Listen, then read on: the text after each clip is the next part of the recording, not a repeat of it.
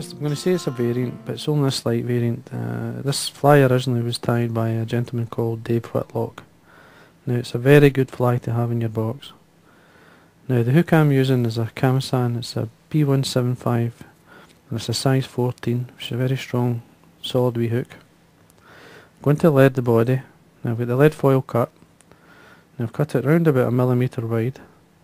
Now when you start the lead in line with the point of the hook, take the lead, take it turns up, stop it about a mil from the, the eye, going to break off the waste piece at the back first, and then I'm going to bring it halfway down the lead, back down.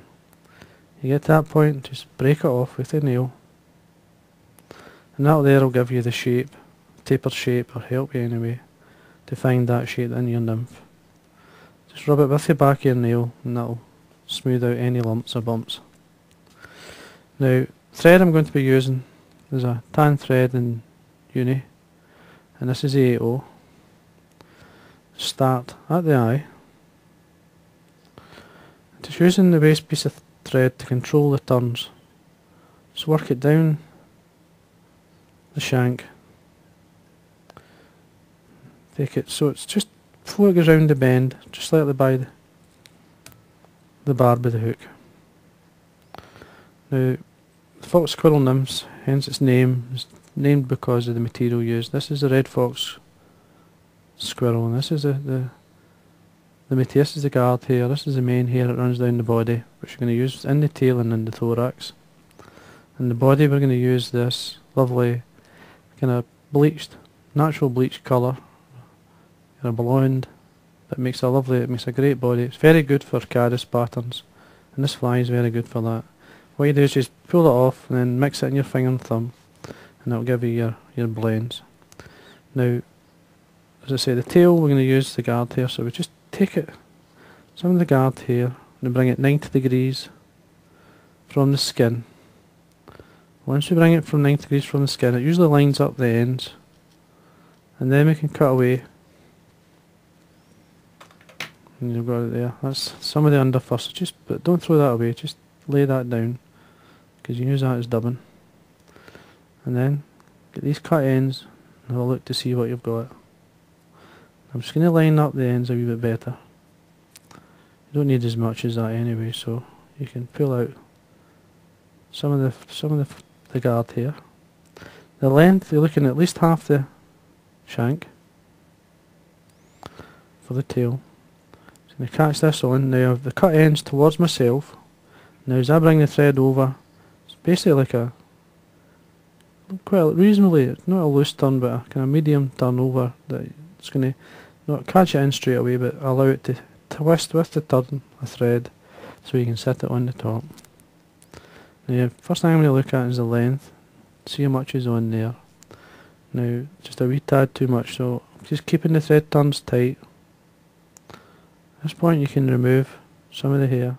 A couple of more turns just to secure it in once you're happy, which I am. Now I'm looking for a nice, a gold tinsel or you could use the gold wire. This is a small gold tinsel, there we go. To catch that the full length of the body, but when you take it all the way up the thread, touch and turns button, wax the thread, it's important that you do that. This tidies everything up. At the same time you're forming a nice shape, a shape. You go towards the eye and then head, head back down. You see where you are. It's fine. Right back at the tail. Now we've got the belly fur. We've mixed it up. There you are. Just take some. I just mix it between my finger and thumb. Just keep flying it back and forward just to mix up the, the under, fur, under fur sorry, with the guard hair. Double into your thread. You don't need a lot. Just then, just take your time Just form a nice taper.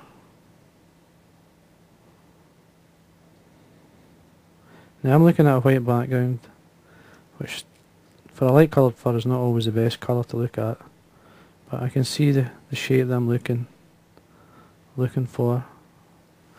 And even if you don't get the type of shape, you have still the shape you've built up with the thread. And when you bring your tinsel up through, you'll see even better. Now at this point, I think I just need a tiny bit more dubbing. Just slide it up. It's a bit better. Now, this size of fly, this thickness of tinsel, we're looking about 4 tons or so. There we are. Cross your thread. And nice and tight, tie it down. Trim away the excess. A wee drop wax to make sure it's well caught in. And you've got a good base of wax to wind your material on. And have a wee quick look. Uh, that's fine, I'm happy with that. Then I've got my main guard hair, mixed up again. Onto your thread. Stretch it out as we go. Just tighten up as we wind it round. Just tighten a wee twist or tighten the material up. Again I'm looking for the shape. Now I'm going to stop this around about a millimetre or so from the eye and then take away the dubbing. This is where we're going to tie in our hackle. Now I've got, purposely I've, I've got some nice patterns there but these are large feathers just to show you that you can actually use the larger feathers. Now you can see the length of the, the fibre is too long for this size of fly. But in a partridge hackle the fibre length gets shorter as it goes towards the tip. So that's the fibres I'm looking for. I'm just going to take away these long ones out of the way. There's not much left of the your hackle but what I do then is get, I've got a fine pair of hackle pliers which I'm going to grab, hold the tip of the hackle and then lightly stroke back the fibres revealing the tip. Just keep a hold of it just now. There we are. Then I'm going to offer it to the hook with the good side of the front of the hackle towards myself. Fold this back. There's a couple of turns there. And then two or three turns back up. And then cut away the tip. It's there. Just lift out with the point of the scissors. So just take your time at this point. Just watch what you're doing. Trim it away. Then, I mean, you really need to be delicate here, what you're doing. You only really need a turn, a hackle. And some of these are slightly too long, these fibres, so I'm just going to hold the hackle stem and then remove them. I mean, just, just got to be careful what you're doing here. You could use a pair of hackle pliers to wind this on, but again, it's not the strongest hackle. Just take it round. You should get at least a turn anyway, you're looking for that. And then once you've done that across your thread, I take the thread turns uh, down towards the eye, fold the stem back, now the stem's really thin, and then I can break it away. And you can see the hackle you get, you get a lovely hackle there, ideal for a small nymph. Then we get our dubbing again. Just put that onto our thread, just a tiny bit. Just watch, just clean your fingers of any fur at this point. And then come in, just form like a, a head. And stroke anything going forwards, draw it back with your finger and thumb. So a wee quick look. Yeah, that looks fine to me.